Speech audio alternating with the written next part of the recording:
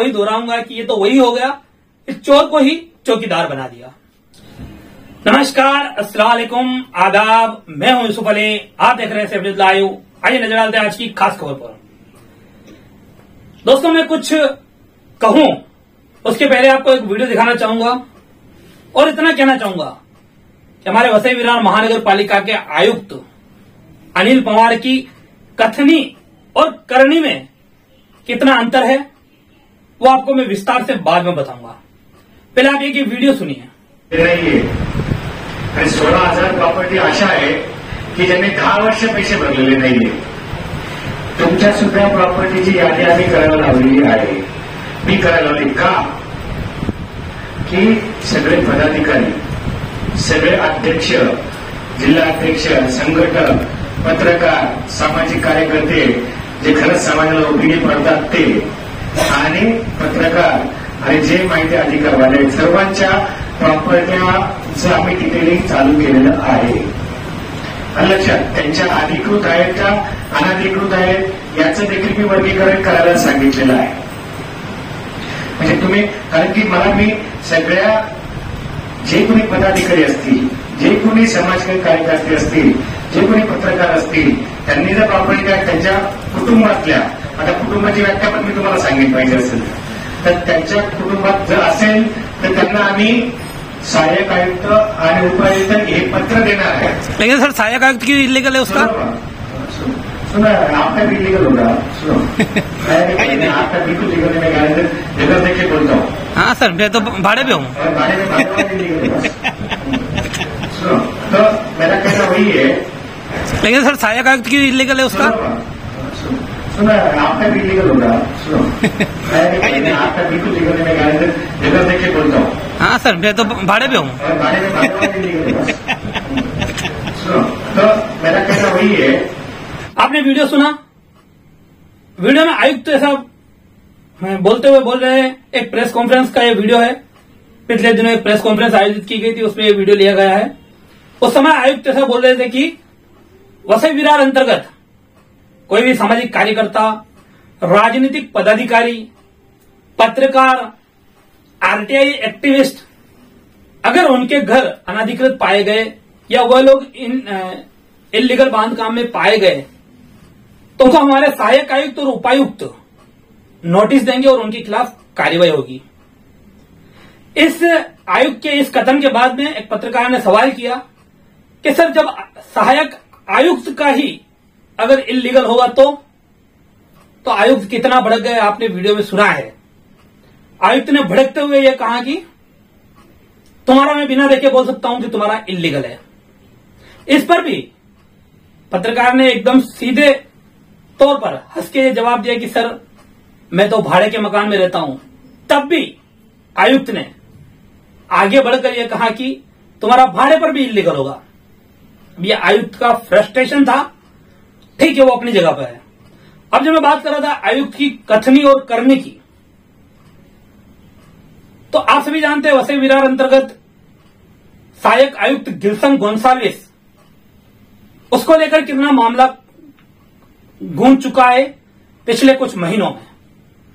वही गिल्सन गोन्साल्विस जिसके अपने दो बंगले अनाधिकृत है। मैंने अपने कई वीडियो में गिल्सन गोन्साल्विस के बारे में पूरे विस्तार से आपको जानकारी दी है और खुद गिल्सन गोन्साल्विस ने महानगर पालिका में जो दस्तावेज़ दिए हैं वह भी यह साबित करते हैं कि गिल्सन गोन्साल्विस के दो बंगले अनाधिकृत हैं और इस हिसाब से उसके दोनों बंग, बंगलों को तोड़ना चाहिए और गिल्सन गोन्साल्विस जो कि एक सरकारी कर्मचारी है सरकारी अधिकारी है उसको अपनी नौकरी से बर्खास्त किया जाना चाहिए।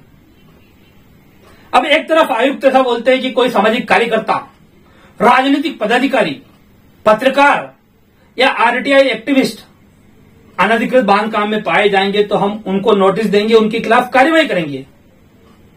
वही सहाय- वही आयुक्त अपने सहायक आयुक्त के खिलाफ कार्रवाई क्यों नहीं कर रहे ये तो सवाल पहले से है। लेकिन अभी नई एक परिस्थिति ऐसी हो गई, जहाँ ऐसा लग रहा है कि चोर को ही चौकीदार बना दिया गया हो। मैं ये वर्ड क्यों बोल रहा हूँ? उसके पीछे कारण है। गिल्सन गोन्साल्विस को जो सब मामला हुआ, आप सभी जानते हैं, कई वीडियो हम बना चुके हैं। गिल्सन गोन्साल्विस प्रभाग समिति एच से फाइनली उनको हटाकर नगर रचना विभाग में डाला गया। नगर रचना विभाग वही विभाग है, जहाँ से महापालिका के सभी बाँध काम को परमिशन मिलती है। सीसी और ओसी प्रोवाइड होती है। बाँध काम के लीगल और इनलीगल होने का ठप्पा उसी नगर रचना विभाग से लगता है। तो सहायक आयुक्त गिल्सन गोन्साल्विस को नगर रचना विभाग में वहाँ के महानतम अधिकारी संचालक रेड्डी का स्वी सहायक बनाया गया, जो पोस्ट ही नहीं है, और साथ ही साथ जनमाहित अधिकारी बनाया गया। उसका भी विरोध हुआ था। मैंने खुद विरोध किया था और मेरा विरोध आज भी है। उसके बावजूद, वो एक डिपार्टमेंट डिपार्टमेंट है, जहाँ पर वो जो अनाधिकृत बांधकाम कर रहा है, उसको छिपाने को उसको मौका मिल सकता था। अब गिल्सन को प्रभाग समिति, आई का प्रभारी सहायक आयुक्त तो बना दिया गया है। जिस प्रभाग समिति आई, अंतर्गत सांडोर गाँव में सर्वे नंबर 99 हिस्सा नंबर एक, तीन पर, अ पर गिल्सन गोन्साल्विस के दो अनाधिकृत बंगले हैं, उसी प्रभाग का गिल्सन को प्रभारी सहायक आयुक्त बनाया गया है। अभी नौबत क्यों आई है? तो इसके पीछे सीधा सा कारण है। फ़िलहाल, अभी हाल ही में इकतीस मई को दो सहायक आयुक्त प्रभाग समिति जी और प्रभाग समिति ए के सहायक आयुक्त सेवानिवृत्त हुए। उनका रिटायरमेंट हुआ। तब प्रभाग समिति जी में दयानंद मानकर की जगह पर वहाँ मोहन संख्य जो कि प्रभारी सहायक आयुक्त थे, आई के, उनको भेजा गया। और प्रभाकाश यादव, जो कि प्रभाग समिति ए के सहायक आयुक्त थे, उनकी जगह पर शशिकांत पाटिल को प्रभाग समिति ए का सहायक आयुक्त बनाया गया। अब मोहन संख्य को जब प्रभाग समिति आई से हटा दिया गया तो फिर प्रभाग समिति आई की सीट खाली हो गई। तो उस सीट पर, प्रभाग समिति आई की सीट पर गिरसन गोन्साल्विस को अतिरिक्त चार्ज दिया गया है। अतिरिक्त, यानी कि गिल्सन जहाँ पर नगर रचना विभाग में है, वहाँ पर बने हुए हैं। उसके साथ ही साथ अतिरिक्त प्रभाग, प्रभार है उनके पास में, प्रभाग समिति आई का। इससे लोगों के कामों में तो काफ़ी अड़ंगा आता ही है, क्योंकि आधे समय यहाँ रहना, आधे समय यहाँ नहीं रहना, ये तो परेशानियाँ है ही है। लेकिन साथ ही साथ, जो हम बात कर रहे थे कि गिल्सन का खुद अपना इलीगल है और प्रभाग समिति की हद में है तो प्रभाग समिति सहायक आयुक्त रहकर क्या वो अपने इलीगल को नोटिस निकाल पाएगा?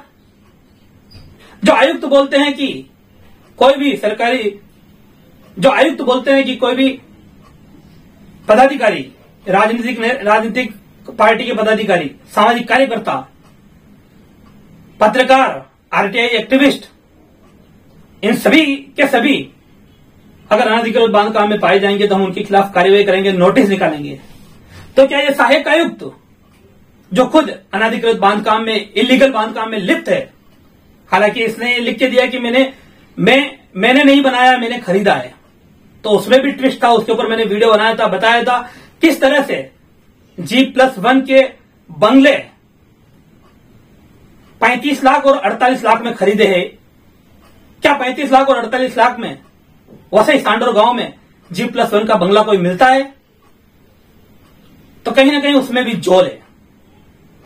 क्या वो बंगले ब्लैक में खरीदे गए हैं, या बंगलों के मालिक से ब्लैकमेलिंग करके खरीदे गए हैं? ये सवाल भी बड़ा है। तो अब यहाँ पर गिल्सन के खिलाफ कार्यवाही करनी चाहिए थी। उसकी जगह महानगर पालिका प्रशासन ने, आयुक्त ने गिल्सन को प्रभाग समिति आई का प्रभारी सहायक आयुक्त बना दिया था। खैर, ऐसा भी सुनने में आ रहा है हमारे सूत्रों से कि गिल्सन को कुछ ही दिनों में शायद हटा दिया जाएगा और वहाँ से, वहाँ पर एक परमानेंट प्रभारी सहायक आयुक्त लाया जाएगा। लेकिन वो जब लाया जाएगा, तब की बात है, आज वस्तु स्थिति यह है कि गिल्सन प्रभारी सहायक आयुक्त, प्रभाग समिति आई अतिरिक्त चार्ज देख रहे हैं। तो जैसा मैंने कहा, फिर एक बार वही दोहराऊँगा कि ये तो वही हो गया, इस चोर को ही चौकीदार बना दिया। आज के लिए, अभी के लिए इतना ही। हमारा वीडियो कैसा लगा?